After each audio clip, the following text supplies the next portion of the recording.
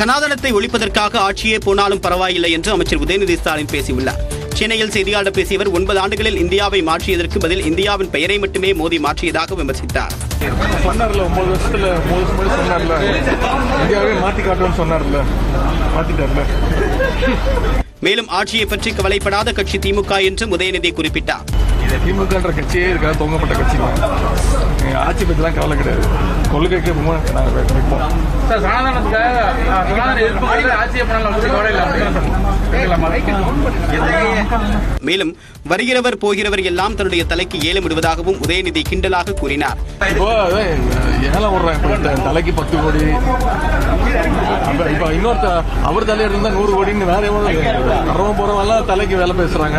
இப்போ இது என்ன தொட்ட தொட்டா பத்து லட்சமா? அது ஒரு அறிவிப்பு விட்டுருக்காங்க இப்போ நல்ல டிமாண்ட் அதிகமாக சனாதன ஒழிப்பு குறித்து பேசிய பிறகு தனக்கு டிமாண்ட் அதிகரித்து விட்டதாகவும் உதயநிதி தெரிவித்தார்.